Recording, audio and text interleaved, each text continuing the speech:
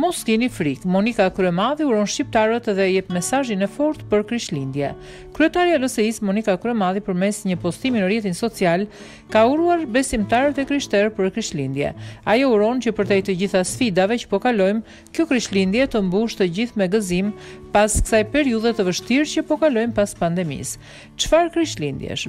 Besojmë apo nuk besojmë, bukuria e këtij misteri e përfshin në plotësi krejt ekzistencën tonë sepse Biri i Hyjit futet në historinë e botës nëpërmjet një shpelle të ftohtë, të varfër dhe aspak komode. Çfarë Krishtlindjesh?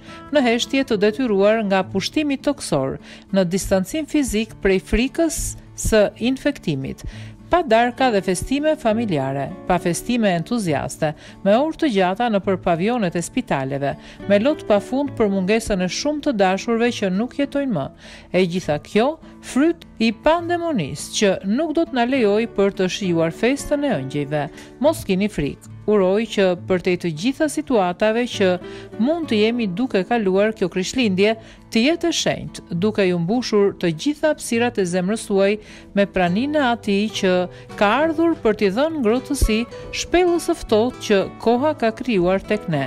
Për shumë mot Krishtlindje me zemër të mirë, shkruan Kryemadhi.